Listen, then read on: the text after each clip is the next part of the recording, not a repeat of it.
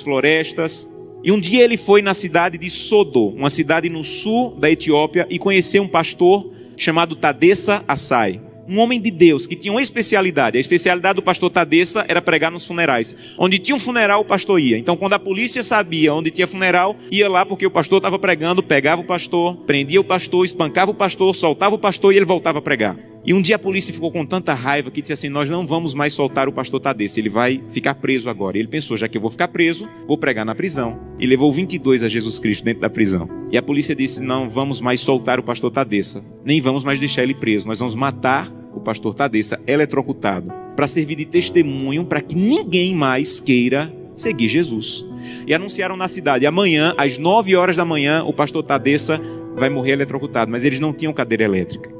E eles chamaram as pessoas para o centro da cidade, para a praça da cidade, pegaram os fios desencapados, amarraram o pastor Tadessa, uma multidão veio assistir. Deram um minuto para o pastor Tadessa orar, começaram um discurso contra o cristianismo, puxaram a chave para a corrente elétrica passar e matar o pastor. Houve uma explosão, fumaça e faísca para todo lado. A corrente elétrica não chegou e o pastor não morreu. Desamarraram o pastor e disseram: Vão para casa, um eletricista vai consertar a gambiarra e amanhã, nessa mesma hora, o pastor Tadessa morre. E o pastor Tadessa pensou: Já que eu vou morrer amanhã, vou passar a noite em oração. E voltou para a cadeia e passou a noite em oração. No outro dia, mesma coisa. A multidão veio, amarraram o pastor Tadessa, alguém havia passado o dia tentando consertar, puxaram a chave, explosão de novo, fumaça e faísca, a corrente elétrica não chegou. E a multidão começou a apertar tanto, fazer tanto barulho, que a polícia ficou temerosa, desamarrou o pastor e disse assim: vai embora, vai embora daqui. E esse missionário estava lá e disse que acompanhou o pastor Tadeça e disse assim: Pastor Tadeça, o que é que o senhor vai fazer? Um homem que passou duas vezes pela morte, o que é que o senhor vai fazer? E disse assim: Tem um funeral e eu soube que tem um funeral, eu vou lá pregar. E ele disse assim: Pastor Tadeça, eu represento milhares de cristãos na América e nós estamos orando muito por vocês. E disse que o pastor Tadessa se virou, ficou com o rosto sério e disse assim: Vocês na América estão orando por nós, aqui na Etiópia? Então volte para a América e diga que nós é que estamos orando por vocês. E ele falou: Mas por que vocês estão orando por nós se vocês é que estão sendo perseguidos, pastor? E ele falou: Irmão, ninguém na Etiópia acorda sem pensar, nenhum cristão na Etiópia acorda sem pensar: Hoje pode ser meu último dia de vida. Pode ser que hoje seja descoberto e seja preso e morto. Então, como nós não sabemos se esse é o último dia de vida, todo cristão na Etiópia passa o dia em oração. Não importa o que nós façamos durante o dia, passamos o dia em oração. Mas eu soube que as coisas vão muito bem na América e que tem cristão na América que consegue passar o dia inteiro sem orar. É verdade que tem cristão na América que consegue passar o dia inteiro sem orar? E ele disse assim: é verdade. Ele falou: você sabe que é proibido se reunir.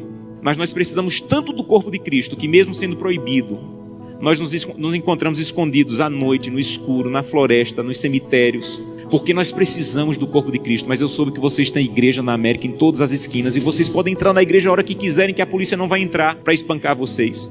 Mas eu soube que na América, no dia de culto, tem cristãos que ao invés de ir para a igreja, ficam em casa assistindo. É verdade que no dia de culto vocês podem a hora que quiserem e vocês não vão, vocês ficam assistindo. É verdade que isso acontece na América, irmão? Ele disse assim: é verdade. E ele disse assim: missionário, a minha congregação tinha apenas uma Bíblia. E eu fiquei com medo de ser preso e minha Bíblia ser queimada. Então reuni minha congregação e com lágrimas nos olhos disse: Irmão, eu não tenho como guardar a Bíblia, é o que nós temos de mais precioso. Se eu for preso, ela vai ser destruída. Então eu comecei a rasgar as páginas da Bíblia e comecei a dividir para cada pessoa. Era mais fácil guardar porções da Bíblia do que uma Bíblia inteira com uma pessoa só. E quando eu estou à noite pregando, no escuro, no meio do meu sermão, eu digo, eu preciso de Isaías 53, e alguém lá do escuro começa a recitar do fundo do coração aquela página que ele levou rasgada para casa e decorou. Mas eu soube que na América vocês podem ter 8, 10 Bíblias em casa. E eu soube que tem cristãos na América que, apesar de terem 8, 10 Bíblias em casa, passam uma semana sem ler a Bíblia. É verdade? E ele disse assim: é verdade. Nós é que precisamos de oração. Meus irmãos, urgentemente precisamos de oração. Porque cantamos breve, Jesus voltará.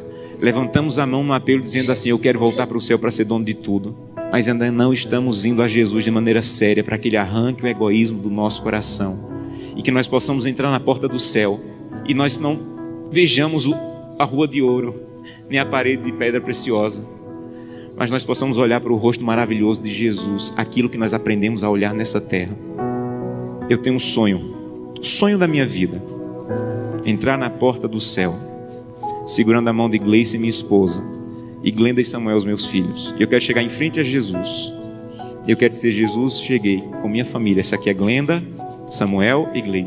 E eu espero que Jesus diga mais ou menos assim: Josanã, eu já conheci a sua família, porque todo dia você ia à presença, a minha presença me apresentava. Só faltava conhecer pessoalmente, mas eu já conheço tua família. Sejam bem-vindos agora. Um prazer conhecê-los pessoalmente. Eu não quero ser pastor dessa igreja. Eu quero ir para o céu. Isso é mais profundo. Eu não quero abrir o inário e dizer assim, breve Jesus voltará. Eu quero estar lá. Isso é mais profundo. Por isso eu preciso fazer com que o que eu como, o que eu vejo, o que eu acesso, o que eu ouço, a maneira como eu uso o meu dinheiro esteja de acordo com a vontade de Deus, porque os que serão salvos não amam a própria vida. Que Deus te abençoe de maneira profunda, para que o primeiro fruto da fidelidade, a transformação do teu caráter, esteja de maneira real acontecendo em tua vida.